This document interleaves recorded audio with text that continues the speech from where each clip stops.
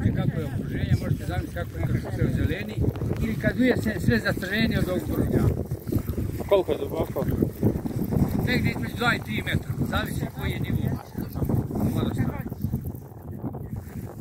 Šta sam htio da vam kažem, znači, ko želi sa mnom proporati ovdje do ovog brdašca, znači, izgleda slika jezera,